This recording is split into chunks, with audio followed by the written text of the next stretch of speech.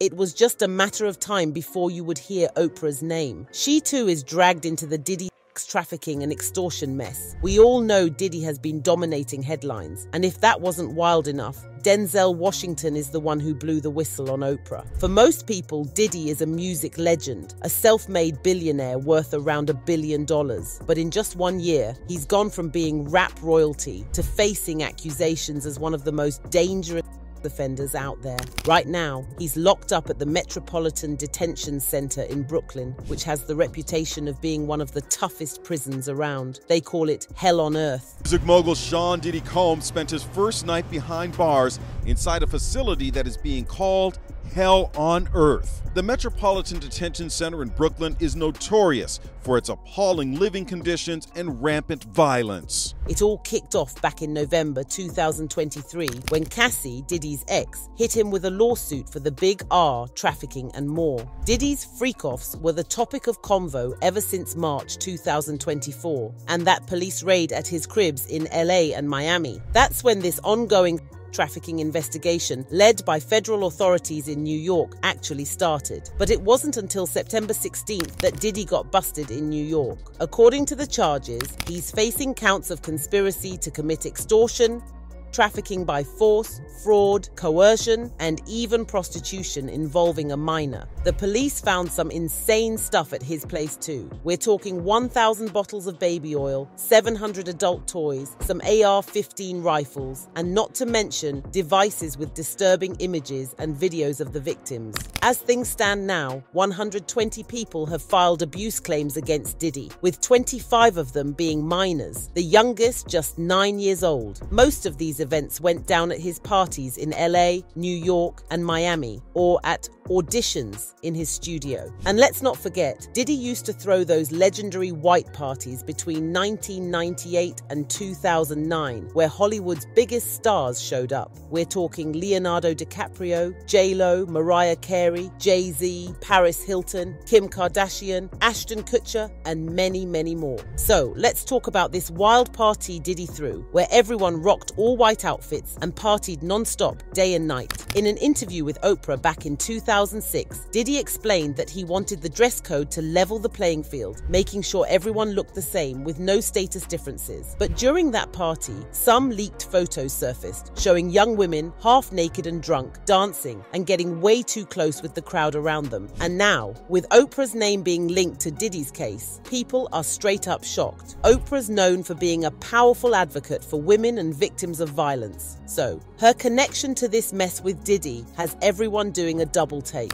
Over the years, Oprah and Diddy have appeared together at a ton of events. One of the biggest, the BET Awards. It's one of the most prestigious events that celebrate black excellence in music, film, and TV. And both Oprah and Diddy have been there as guests or presenters since they're both major figures in the black community. They've also crossed paths at international spots like the Cannes Film Festival. Diddy's famous for throwing huge parties there, while Oprah has been a staple in the entertainment world. And of course, they've both been to the Grammys Oprah's made appearances, and Diddy's well known as a top producer and rapper. Diddy was even a guest on Oprah's iconic talk show, where they chopped it up about his music career, business moves, and the struggles he's overcome. Because they're always trying to make something of you and Puffy. Yeah, me and Puffy, me and Maxwell, me, tons of people. Me and Marc Anthony, who I do, did a duet with. I mean, the list goes on and on. Uh-huh. Every day it's somebody new, you know. So. Uh, you know, it's okay because I'm very private about it. Now, many have thrown shade at Oprah in different ways. We knew for some time that there's a big chance of some A-listers in Hollywood being involved in shady trafficking activities. There's even been talk about 1,000 missing kids and Oprah being mixed up in something illegal.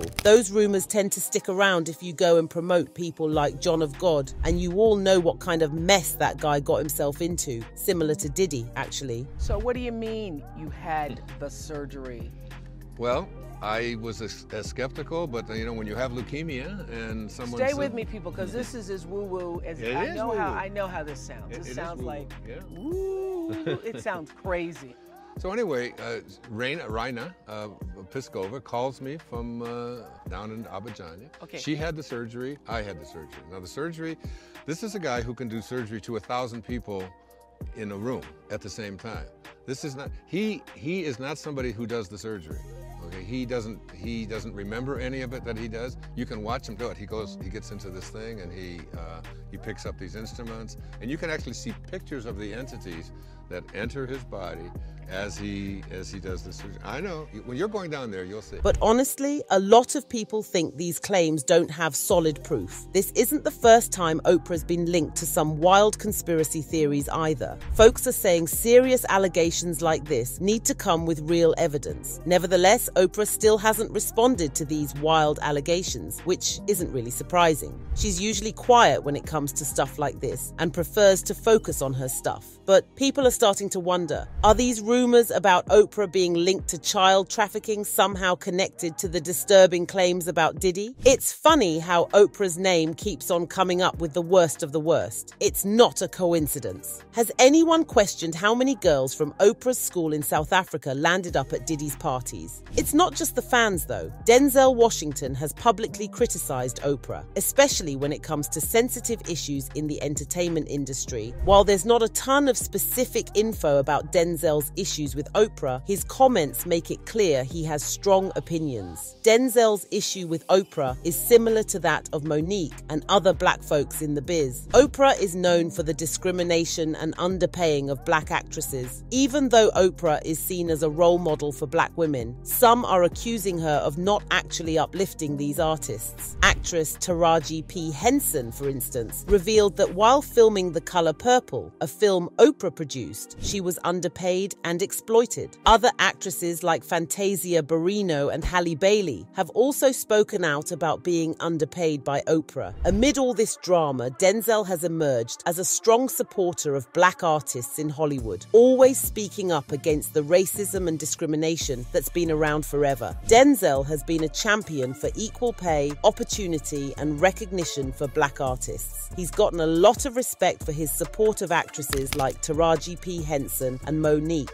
and he's not shy about calling out the double standards in the industry. It's pretty interesting, though, how Denzel criticizes Oprah, who's a black feminist, for how she treats black actresses. But when it comes to Diddy, who's also black but happens to be a billionaire, Oprah's attitude seems different. Oprah and Diddy actually have a pretty solid connection. Both came from rough backgrounds. Oprah growing up poor in Mississippi, and Diddy facing his own struggles in the music world. Despite their tough beginnings, they've both risen to the top in entertainment and business. They've been friends for years, appearing together at big events like the CFDA Fashion Awards and charity galas. There have even been crazy rumors that Oprah and Diddy might have something romantic going on, especially when they're spotted together at high profile events, or when Diddy gushes about Oprah in interviews. But both have denied these rumors, insisting they're just friends and colleagues. Still, their appearances together always spark a lot of speculation. Some people think Oprah may have helped Diddy maintain his influence in the media and entertainment world. And let's not forget Diddy's famous white parties. Oprah, with her massive influence, has probably been to a few of these, but with all the glitz and glamour come the wild stories. Some guests at Diddy's parties have reportedly been involved in pretty outrageous activities, like wild dancing or daring games. There have even been claims about wine being poured on naked girls. Inside these parties, there are said to be secret rooms for actors, singers, and other guests. It's unclear whether Oprah has ever been in these hidden spaces. Both Diddy and Oprah have also been involved in charity work over the years, but there's been some criticism that they haven't done enough to support the causes they claim to care about. People are starting to call them out, saying they could be doing way more for the community. Most agree that Oprah played a significant role in Diddy's rise, even though she did not directly contribute to his career. When Diddy appeared on her show, it exposed him to a larger audience, boosting his public image and expanding his influence in the entertainment industry. Oprah, as a cultural icon, helped Diddy establish his personal brand, and her recognition contributed to creating a more positive image of him in the eyes of fans and investors. Though Oprah did not directly assist Diddy's career development, her influence through media opportunities and social connections is undeniable. But while Oprah remains focused on her work and keeps her business on the low, Diddy continues to face face legal troubles.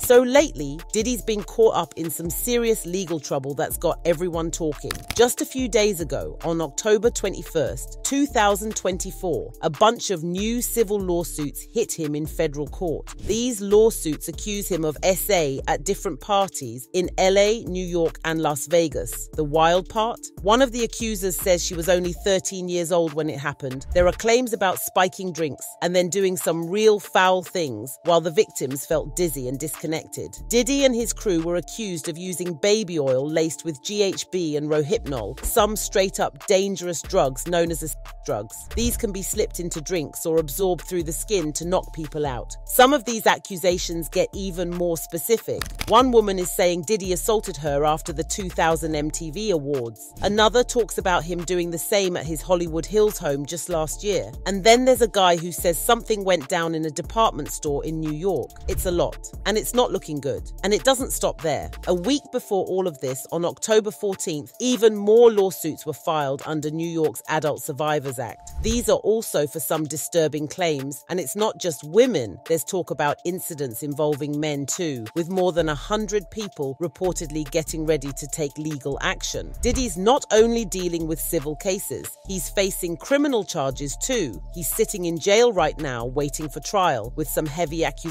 being thrown at him. Diddy's legal team is still saying these claims are all bogus and they want the victims' identities revealed so they can get ready for trial. But the prosecutors, they're holding strong and keeping those names private for now. It's a wild situation. And the big question is how will this all play out? Let me know what y'all think. Don't forget to hit that like button and subscribe to the channel. We'll catch you in the next one.